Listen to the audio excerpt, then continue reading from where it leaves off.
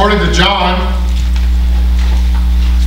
chapter 20, verse 31, the Gospel of John was written so that you would believe that Jesus is the Christ, the Son of God, and that by believing you may have life in his name. It's great. He gets to the end of the book and lets us know why he wrote it. And all through the book, he's presenting his case to get to that thesis statement that's at the end. And part of his presentation of these truths, John records eight miracles of Jesus. Eight specific miracles. Now, true, there's a whole lot more than that. Matter of fact, John in, follows up in chapter 20 and said, well, if we wrote down every single one of them and all the details of them, it would fill all the books in all the world. That's how many he did. But John wanted to highlight eight very specific miracles. And this morning we're going to look at miracle number six. First, we had the changing of the water into wine at the wedding feast in Cana, if you remember that. Next, he healed the long distance healing of a nobleman's son who was dying. If you remember that one. Then we had the healing of the crippled man uh, that was in the uh, pool of, uh, uh of uh, Bethsaida had been crippled all of his life and complained he couldn't get to the waters when they were stirred fast enough. If you remember that, it was on the Sabbath, and that's what kicked off all of the, um, the, the uh, Pharisees and the Sadducees being so upset. We had the feeding of the 5,000. Let's see, that's one, two, three, four, five.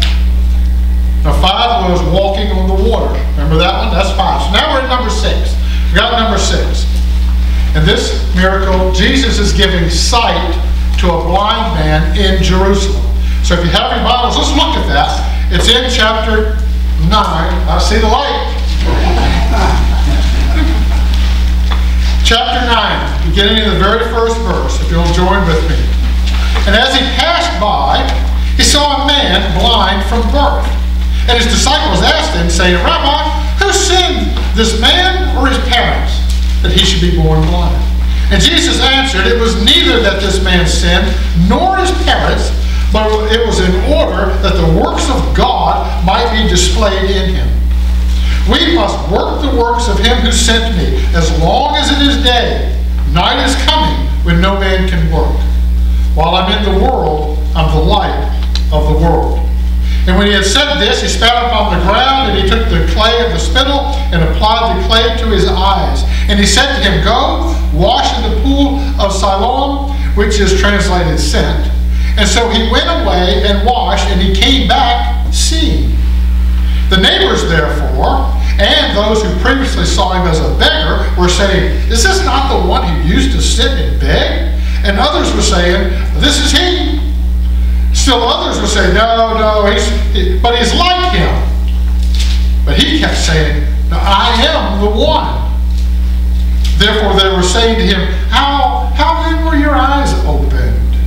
And he answered, the man who was called Jesus made clay. He anointed my eyes. He said to me, Go to Siloam and wash. And so I went away and washed, and I received sight. And they said to him, Where is he now? And he said, I don't know.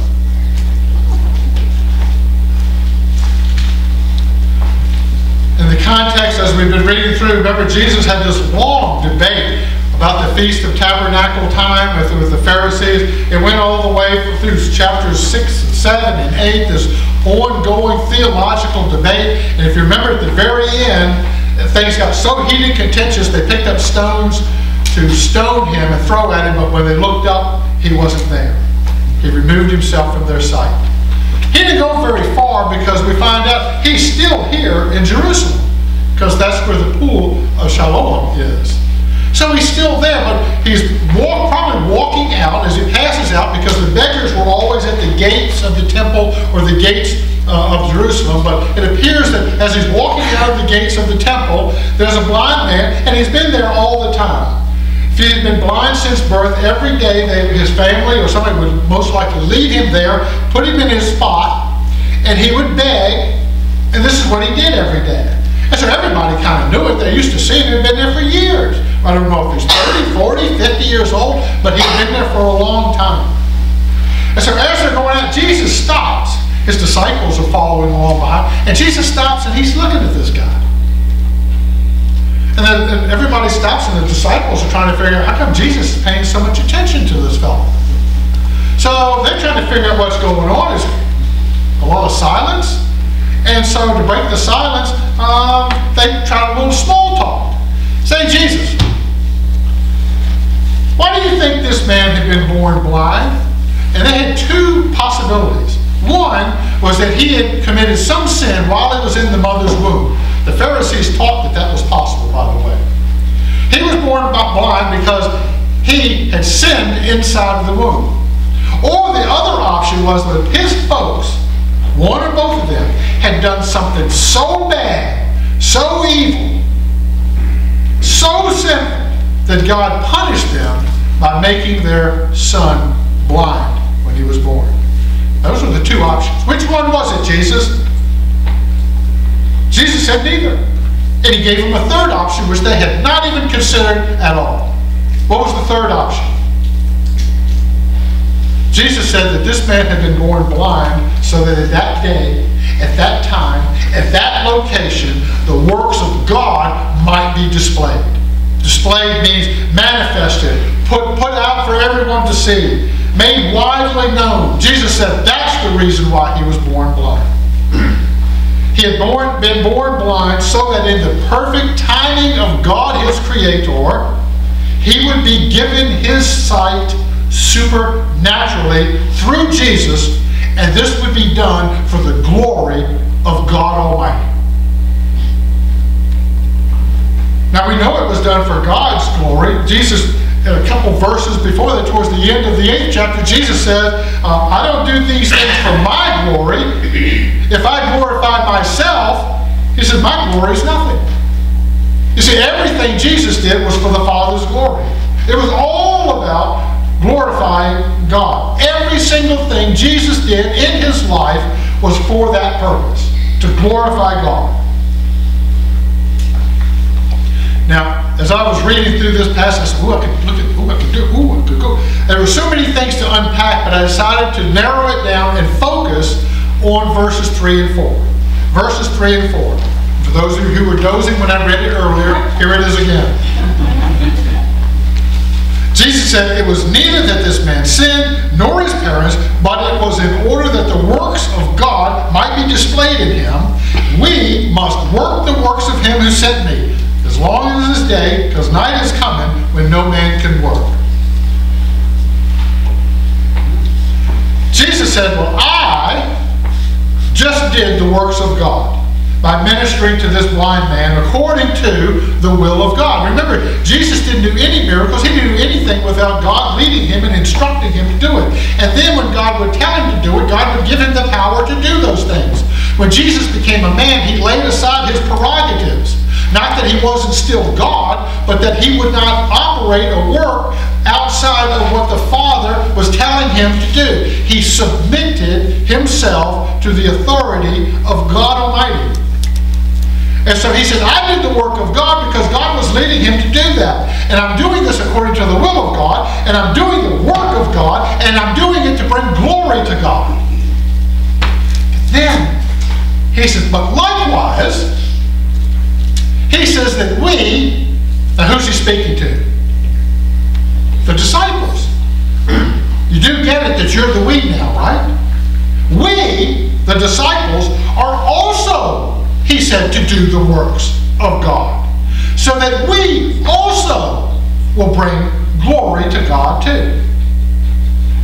Psalm 29 1 says, Ascribe to the Lord the glory, do his name. What in the world is glory?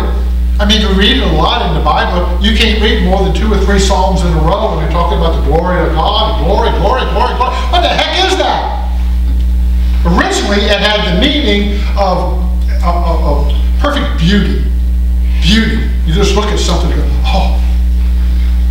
It's like having that restored 1957 Chevy. Oh, that's the beauty of a car. Okay? I want a beauty. It's perfect. Oh my goodness. All shined up. That's the beauty of a car. But as time went on, that word started gaining a greater meaning than just extreme beauty. It started to have a, a, a much greater, uh, more impactful meaning, uh, meaning, and it eventually evolved to have the meaning of to magnify something, to make something look bigger and greater and more grand and more amazing. And so this is what it's talking about when we talk about adding glory to God. Because we have to say it in that way. Because God is absolutely 110% pure, holy, perfect, and full of glory. He's not missing any. So how do we add glory to God? We can't.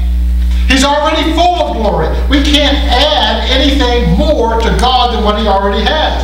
But we glorify God when our words and our actions reflect his glory. People are able to see his glory in the things that we say and do. When we do the works of the one who sent Jesus, we glorify God, is how we make it work. Glorify God. Now, this isn't just something we do to be cool to do every now and then. And it's not something to do whenever we figure it might be convenient to do. Glorifying God is the single reason behind all of God's creation. Glorifying God. God created everything for the purpose of glorifying Himself. Psalm 19:1. The heavens are telling of the glory of God, and the expanse is declaring the works of His hands. It's not just the heavens, it's not just the earth, it's about us too. In Isaiah chapter 43, God is speaking. And he's talking about everyone who is called by my name, whom, he says, I have created for my glory. He said, I created you for my glory. It's why we exist. Anybody ever heard of the Westminster Catechisms? Back in the 1600s, to make sure that everybody was of on the same page of knowing what they believed and what the foundational truths were uh, for the Protestant church, they came up with this catechism, and basically it was a teaching device. And it would be a question, and then an answer based on Scripture. And then another question. There was questions about God, and questions about Jesus, and questions about salvation, questions about sin. And so you memorize and you learn, this is how they learned it, about who God is. And then there would, the answer would be a little paragraph, four or five sentences. And then what, where does this happen? Why does this happen? The very first question in the catechism the very first one is, what is the chief end of man? We would say a little differently because we're in 1600s. We would say, what is the main goal or purpose of man? Very first question, very first thing we need to know, and we're going to talk about God and our beliefs and our faith. What is our purpose? What is the main purpose for man? You want to know what the answer is? Good. It is to glorify God and enjoy Him forever. That is why we're here. To glorify God and then enjoy forever. God has created every single person with abilities, and in this case, disabilities, so that he will be glorified. Now, some folks kind of object to this kind of line of thinking about God. Doesn't this make God, I don't know, a little self-centered? Who else is he going to be centered on? Who else is he going to lift up? Who else is he going to magnify? Who else is he going to worship or praise? Who else is he going to submit to and obey? There is no one else. Some people might ask, well, does this mean that God is just using us? Is God just, did he create it just to use us? The answer is yes. Yes.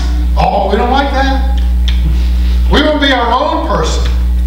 Remember what he said, for all who call upon my name, as far as the, the New Testaments are, we, we take Isaiah's writing and apply it to the New Testament. Those, all those who come to him through saving faith in the Lord Jesus Christ, God has created for his glory. Because he made us into a new creation. We are all a new creation.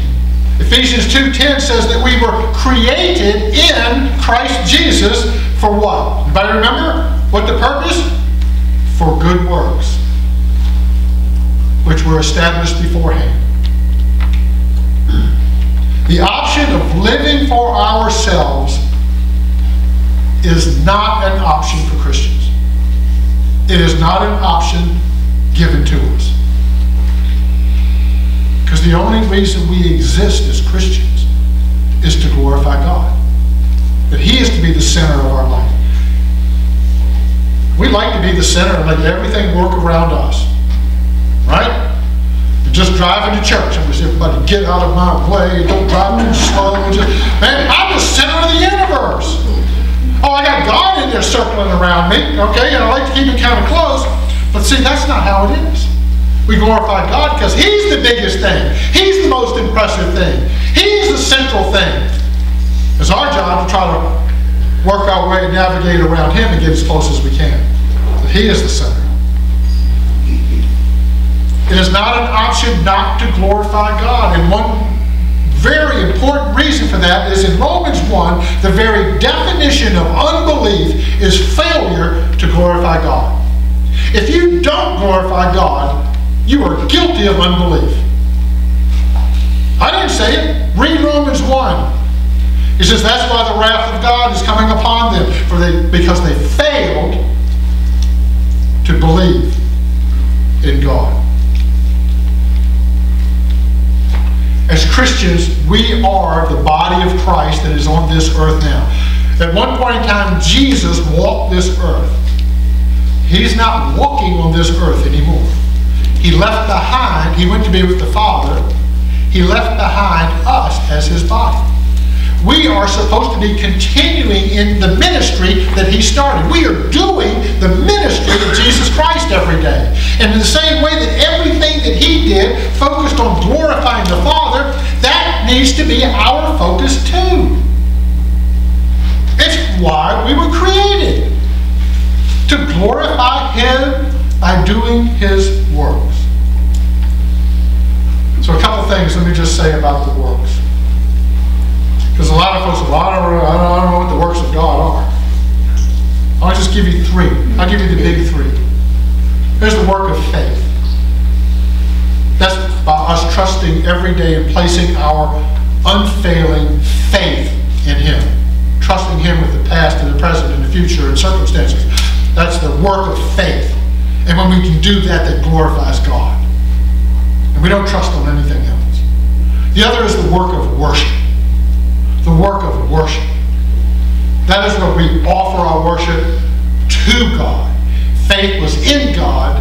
Worship is to God by assigning Him and magnifying Him and lifting Him as the most important thing there is in our lives. That's worship. And thanking Him and praising Him for who He is. The work of faith, the work of worship, and then there's the work of service. That's submitting and service for God faith in God, worship to God, service for God. Well, am I supposed to know what God wants me to do? You know, home we got those little lists. Men, you know the little list your wife puts on the refrigerator? we all got a little list. We know what the list is. How supposed to know the works of God are? How am I supposed to know what I'm supposed to do and when I'm supposed to do it? Let me ask you. How much time do you spend every day asking Him what He wants you to do? How much time do we really, truly spend asking Him? Or we might think of stuff we want to do and then hope He goes along with it. How much time do we spend asking? You know, one of the reasons why we don't ask Him because we're afraid He'll tell us. I tell the story when, I, when first the gospel, um, the Lord started applying that the truth to my heart, and I go, oh, I, I don't know. One of the first things I thought of was, oh my goodness, if I have to give myself 100% to God, He might send me to Africa. I don't want to go to Africa. That's might be the work that he tells me to do. And if I have to do what he tells me to do, I got to think about this. Luckily, the Lord kind of grabbed me like this and did one of those, woke me up, shook me really good, and I said, Yes, Lord. And I accepted him as my Lord and Savior. I used to go up and do some volunteer work after that at the International uh, Mission Board up there in Rockville. Nothing fancy, no teaching, no preaching. I helped with the grounds crew.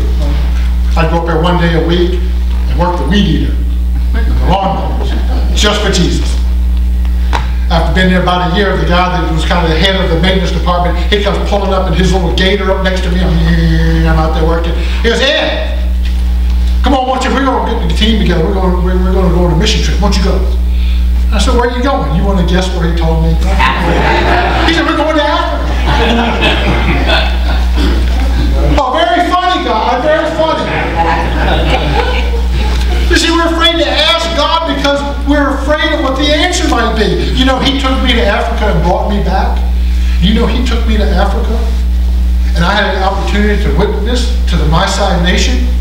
I had an opportunity to witness and be his tool and his workmanship in that place. And during that period of time, I saw almost 100 people come to Christ. Other people had been there and done the planting and the watering, and God sent me to Africa to reap. Just got to ask God, because He might just want you to water. He might just want you to plant some seeds. He might just, you don't know. But He knows. And He saved you and He created you to be who you are for this very purpose. And He's got stuff for you to do.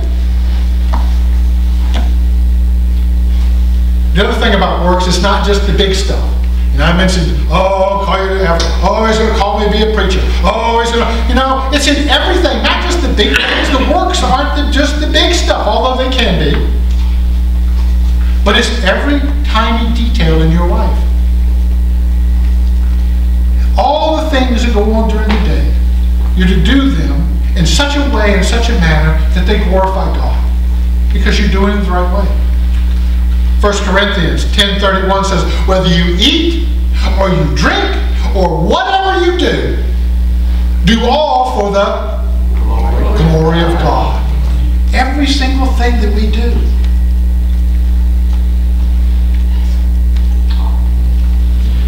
Because everything that we do is one of two things. It is either our own works or it's the works of God. There's only two, two choices. Everything we do is either our works or His. We're either living for ourselves or we're living for God. And it is impossible to glorify God by living for ourselves. It is impossible. It will not happen. You will not give glory to God. I don't care how good you think you're doing. That's why people who are not saved, they can do a lot of great works, they are not pleasing to God. They can start a hospital. They can do all kinds of things.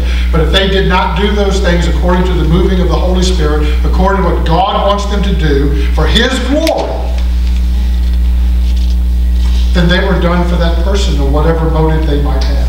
No matter how good it is, it is still done for man's glory and not God's. Now, living this kind of a life, I can already hear you thinking, man, this, this, this is hard. I don't know about asking God what He wants me to do. I mean, I'm, I'm, I'm tired. I'm too tired. I'm too old. I, I, I, I, don't know what to do. I don't know if I'll be able to do it. I don't know if I have the strength to do it. Notice what Jesus said when He gave us this instruction. He said, we. And I was talking to the disciples, so we know it included them, but, but you notice he said, we must do it. I did the works of God by giving this blind man his sight. Before it gets dark, and you know he's talking about a limited time, y'all do know you'll have a shelf life, right? We, Jesus is saying, we, the body of Christ, he said, we have to do the works of God while there's still time. While you are drawing a breath, that's your opportunity to do the works of God here on this earth. And the fact that he said we, he is saying, but I'm going to be there with you. I'm going to be there to help you. Inside of every believer, Jesus Christ has placed His Holy Spirit. And God has told us that what you have living inside of you, what you have in spirit that He placed inside of you has the power. Don't think you don't have any strength or power. You have the same power that the Scripture says raised Jesus from the dead, living inside of you. Oh, glorifying God every day, all the time. That's going to be too hard. Really too hard for God? You know, there's nothing impossible for God. God is inside of you. And Jesus said, We will do it. We will do it together. Tell you one last thing about the works of God. And doing those works, and our call to do them. I call it the glory circle. When we jump in in faith, and we will find that as we work harder and harder to make sure that our motives and, and our thoughts and our words and our deeds are done with the purpose of glorifying God, when we do that, we'll find ourselves in this little glory circle. It's kind of cool. First part, when we listen to the words of our Creator and we respond, He's telling us what to do, He's instructing us, and we respond in word and deed in humble obedience, yes, Lord, and we do them, this glorifies or magnifies God in our lives. And what that means is we then make God a bigger part of our lives, more important, more vital, a, a greater aspect of our being when we do that. And it glorifies God. And then God, in seeing our humble obedience and our submission to Him, He is moved to share some of His glory back to you and me. We glorify Him. He sees that. He loves that. And He sends a little of that glory back to us. How does that magnify us? Because when God does that, He reaches and touches inside of our soul, and we're reminded of what a vital uh, uh, uh, part of His kingdom, and how that we are His children, and we've been adopted, and we are the saints and co-heirs with Christ who will live forever, and we see our importance and our value of our lives gets greater and greater when they're in God in Christ. So we magnify God, He gives us some glory back, that He magnifies us, and then we are so moved by the truth of who we are as His children, we can't help but magnify Him back again and give Him more glory. And He goes on and on and on, and the only thing that will break the cycle is when we stop glorifying God.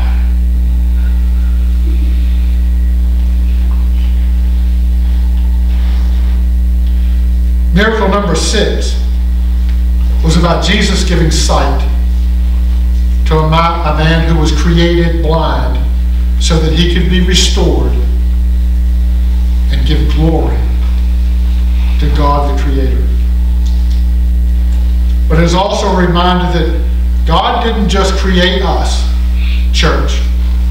He didn't just create us to go to heaven. Because if that's the purpose, we'd all be there. And I wouldn't be preaching today. You'd be listening to Jesus. But He did create us, and we are here, and He created us for His glory. And we can and we must, and we are called to glorify Him in everything that we do. I was hoping Arnett, she did play a, we did get to sing a hymn that had glory to the Lord in it. I was hoping maybe I should have called her. Hmm. To God be the glory. Great things He has done. Hallelujah. Father God, help us. Lord, we thank you for the instruction of your word. Now we need your help. Lord, we need you to remind us constantly of who you are, vital you are for even every breath that we take, for every beat of our heart. You are the one responsible for any and every blessing that we have or have ever had. You are the one who is there to hear and listen to us when we are sick or hurting. You are the one who is there to comfort us when we grieve. Lord, we are reminded as we just look around and consider and stop and meditate that you are worthy of our praise worthy of our worship. And Lord, you are due every bit of glory that we can shine forth upon you. So, Lord, may that be the center aspect of our lives, that we might glorify you. Father, if there's any here today, Lord, who, who does not have a saving relationship with you, Lord, they're missing out on the opportunity not only to glorify you, but to be glorified by you. And I'd ask that you would speak to that heart. Maybe there's someone here who, Lord, has fallen a little bit behind, fallen off to the side, and is looking for uh, maybe a prayer of restoration. And Lord, that we'd ask that you would touch that heart as well. Maybe someone even looking for a church home, a place where they can gather with like-minded saints that they might glorify God in unison with other brothers and sisters. Lord, in any way that you would speak to their hearts, I'd ask that you would make them tender, hear you, and their response